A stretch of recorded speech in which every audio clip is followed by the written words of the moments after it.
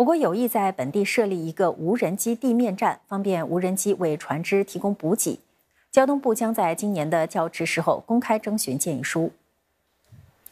交通部高级政务部长徐方达出席第二天的新加坡海事周活动时说，建议书将有助于政府机构和私人企业制定适用于我国繁忙港口的无人机运作概念。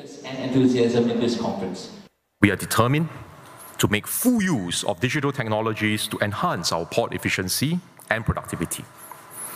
provide safer navigation and better services to our shipping customers, and contribute to improving the resilience of global supply chains. 徐方达也说，从今年起，我国也分阶段在主要的船只停泊处、航道、码头和登船地点推出 5G 网络， 预计将在二零二五年中完成。到时，我国将是全球首个在港口海域提供全面 5G 网络的港口。另外，新加坡海事及港务管理局也同新加坡港务集团续签合作备忘录，承诺各拨出一千两百万元，促进海事业的研究和创新工作。